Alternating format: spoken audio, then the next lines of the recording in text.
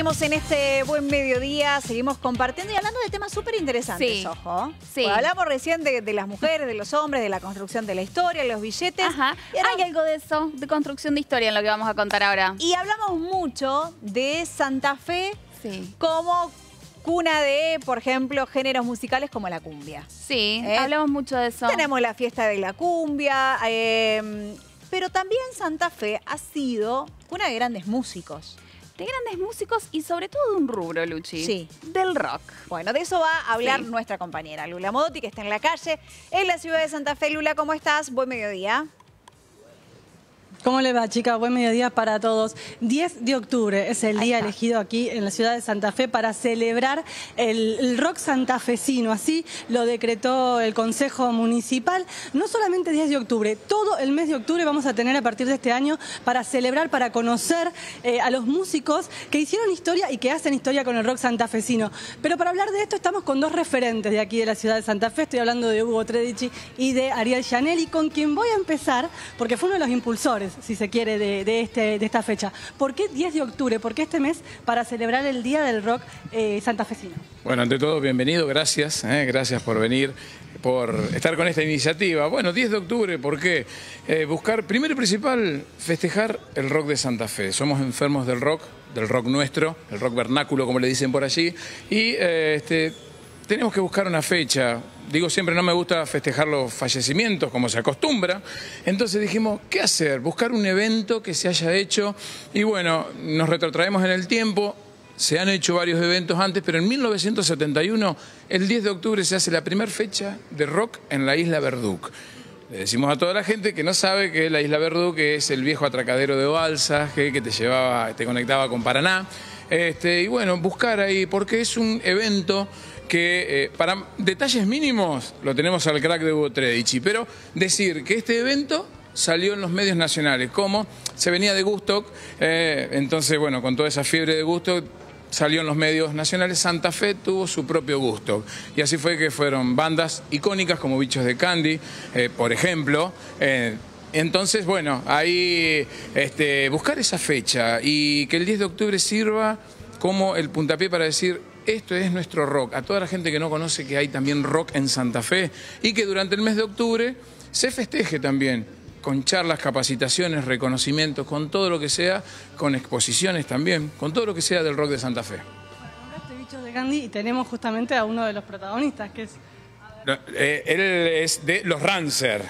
Él, no, él, él conoce la historia. Él, a ver, él, Que me él cuente, que me cuente bien él, digamos. es la enciclopedia viviente de nuestro rock. Entonces le voy a dar justamente, Hugo, ¿qué significa tener este día finalmente para alguien que formó parte de la historia del rock? Bueno, un reconocimiento realmente a un movimiento muy importante que tuvo la ciudad de Santa Fe. Yo quiero recordarles que más allá del Festival de la Isla Verduc del 71, en esa época había muchos grupos de Santa Fe que llegaban a sus vinilos a editar discos porque los sellos importantes de Buenos Aires venían a Santa Fe a buscar eh, lo- los, grupos de acá porque había un movimiento muy grande y muy importante. Mucho más importante que el de otras ciudades eh, grandes de la Argentina, por ejemplo que en Rosario. Estoy hablando de principios de los 70.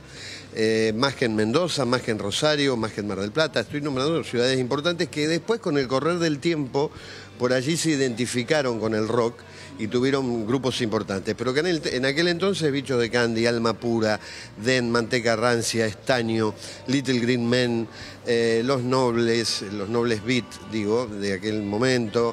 En fin, creo que no me queda ninguno para nombrar. eh, Dem, creo que lo nombré. Eh, eran grupos muy importantes que grababan para sellos multinacionales.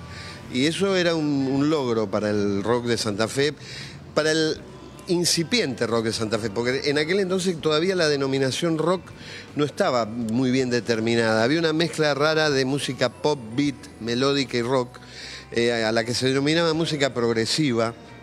eh, o sí, música progresiva era la denominación que tenía. Eh, por lo tanto, bueno, estos festivales eran muy importantes para la ciudad y el de la Isla Verduc ni hablar porque fue una remake de, de Gusto, ¿viste? Era la posibilidad que teníamos los locos hippies o, curiosos de aquel entonces para ir a un lugar, a un campo, a ver un festival de rock. Entonces me parece bueno que, se haya tomado como referencia ese 10 de octubre, que fue el primer eh, festival de la isla Verduc. Eh, pero como decía Ariel, hubo antes mu- muchos recitales eh, con varias bandas que se hicieron en Santa Fe porque, te reitero, el movimiento era muy, pero muy grande, muy importante y, y por eso los sellos discográficos se fijaban en Santa Fe. Chicas, Están conectados, tanto Ariel como Hugo las escuchan. Bueno, lo saludo. Lo voy a saludar a Hugo, que habló último. ¿Cómo estás, Hugo? Luciana Trincheri, ¿cómo, cómo andás? ¿Cómo te va, Luciana, tanto Hola, tiempo? Vito, ¿cómo va? Bien, bueno, te estoy escuchando y a, a mí me encantaría que, que todo el mundo pudiera conocer la cantidad de historias que tenés vos para contar de este rock al que tanto le costó, porque decíamos hoy con Gaby, Sí. eh, hablamos Santa Fe, cuna de la cumbia, hoy la cumbia, la cumbia, pero vos también esto que, que decías que es muy importante, eh, esto de llegar al vinilo, por ahí los chicos no saben qué significa, No, pero implica un laburo muy, Sí. muy grande para que una discográfica de Buenos Aires se fije en la gente de Santa Fe. Sí, eh, ese tiempo, estoy hablando del 69-70 más o menos, eh, aquí en Santa Fe se realizaban hasta festivales eh, tipo concursos que se hacían en un boliche que estaba eh, donde es ahora la Plaza del Soldado. En aquel momento estaba el Mercado Central, el boliche se llamaba Candy, por eso los Los bichos se llaman los bichos de claro. Candy porque ellos tocaban mucho allí. Eh, bueno, en, en Candy se realizaron festivales beat donde el ganador, por ejemplo, tenía la- eh, accedía a grabar un disco. Y venían de, de Emi Odeón, por ejemplo, del sello discográfico de Buenos Aires, a ver esos festivales y ellos elegían los grupos. Y por eso Alma Pura y Bichos de Candy, por ejemplo, pudieron acceder y Little Green Men a grabar en ese sello tan importante. Eh, y bueno, y se fijaban en el sonido. Ellos les decían en Buenos Aires la revista Pelo, que era un poco la referencia del rock de todos. La revista Pelo le llamaba al, al rock de Santa Fe el sonido Paraná. Pero le decían sonido Paraná por el río, ¿viste? Claro. Y porque también estaban los Brujos de Paraná, que era un grupo importante que grabó también en aquel entonces, que prácticamente los Brujos eran un grupo más de Santa Fe, porque ellos tocaban más en Santa Fe que en Paraná. Así que estaban siempre con todos los de acá.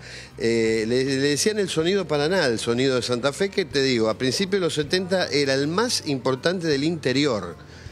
Después, lamentablemente, en los 80 eh, se cayó eso, no hubo casi discos editados en Santa Fe en los años 80, era muy difícil acceder al vinilo, pero en los 70 fuimos pioneros eh, en cuanto al interior, ¿no?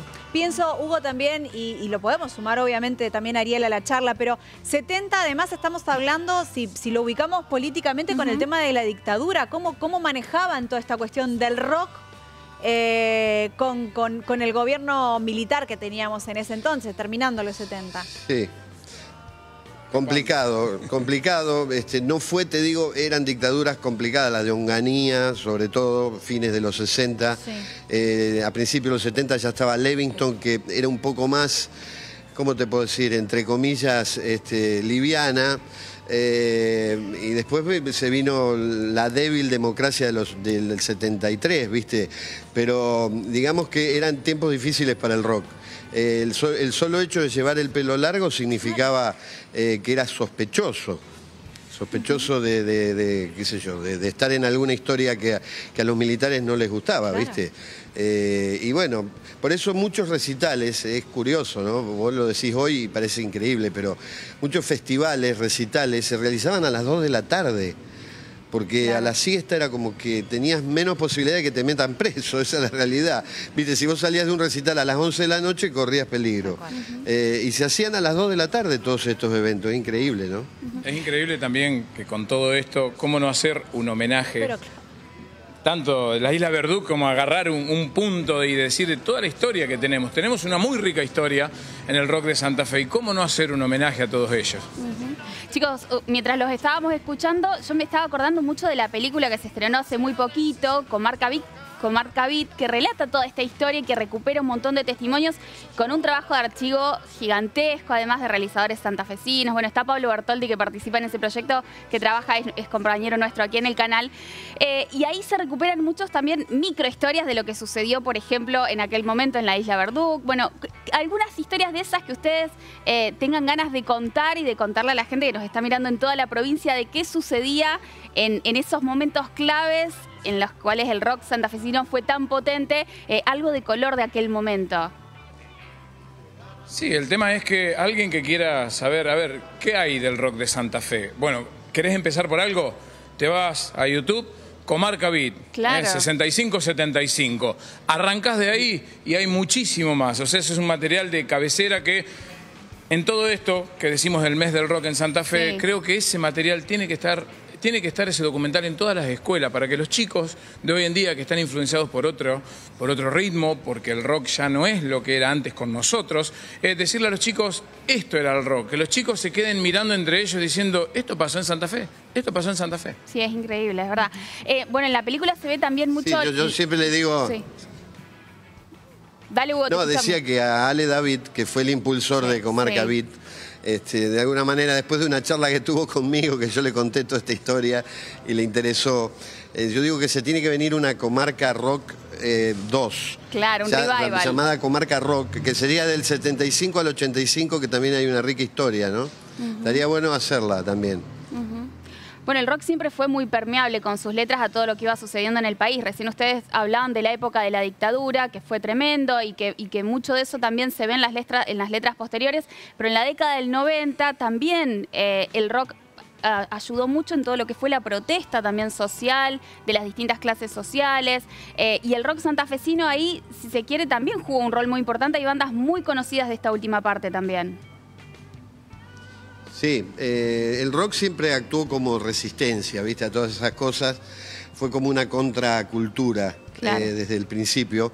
Y como vos decís, en los 90 aparecieron en Santa Fe eh, grupos muy importantes que tuvieron una trascendencia nacional como estos de la década del 70. yo, yo siempre ubico a Cabezones, a Carne Viva, a La Cruda, a Cirraga, eh, y por ahí sí me estoy olvidando de alguno, pero me parece que ellos fueron un poco los, los fundamentales en esa época como para ubicar al rock de Santa Fe también en un contexto importante, ¿no?